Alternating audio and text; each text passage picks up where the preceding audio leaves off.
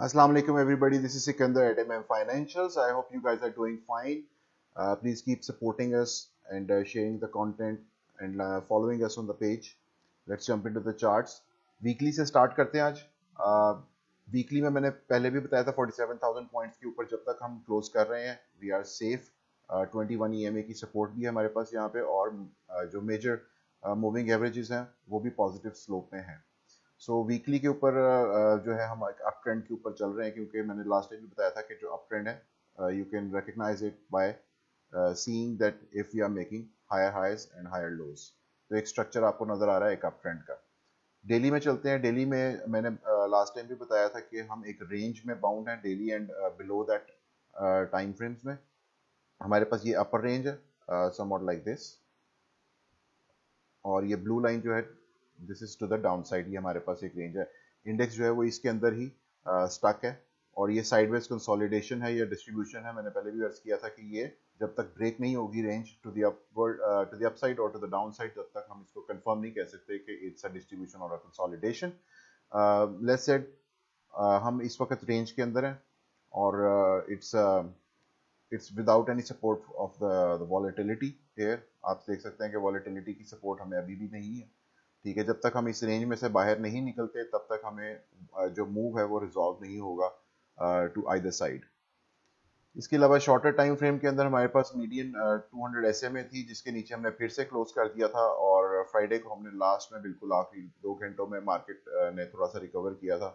और आज gap opening के साथ हम साइडवेज ही मूवमेंट किए और साइडवेज मूवमेंट के साथ ही क्लोज किया वंस अगेन यहाँ पे भी वही रेंज प्ले आउट हो रही है, जो मैंने आपको डेली पे दिखाई है। और मीडियन हमारे पास यही है सिंपल टू हंड्रेड एम और यहाँ पर भी आप देख सकते हैं कि शॉर्टर मूव्स के अंदर भी कोई ख़ास वॉलेटिलिटी सपोर्ट नहीं है वॉलेटिलिटी जो है वो अपने टेन या टेन प्लस लेवल को हिट नहीं कर रही है बहुत देर से। तकरीबन आप समझ ये लास्ट टाइम हमने जो हिट किया हुआ है that is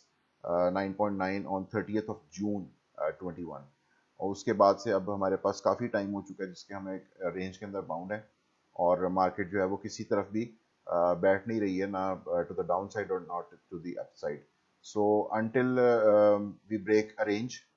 तब तक ट्रेंडिंग मूव जो है वो uh, नहीं नज़र आ रहा। उससे पहले ये है कि हम रेंज के अंदर जो है it's going to be sold uh, it reaches the top side of the range and once it gets to the bottom side of the range it is probably going to be get bought. So ये हमारे पास analysis है uh, आपके index uh, के के S hundred इसके अलावा दो न्यूज़ हैं जो कि अच्छी हैं मार्केट में।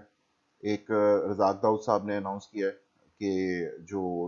यूरोपीय यूनियन के साथ जो हमारा ट्रेड का एक स्पेशल हमारा एक स्टेटस था जीएसपी प्लस वो ख़त्म होने के खदशात थे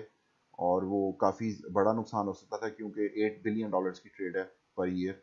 तो उसमें यह है कि हमारे पास स्टेटस में दो साल की एक्सटेंशन हमें मिल गई है which is a very good news और secondly World Bank is going to keep it support for Pakistan तो दोनों अच्छी न्यूज़ हैं। Let's see how the market reflects them in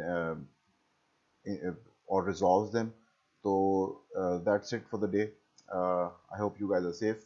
and have a great day अल्लाह हाफिज़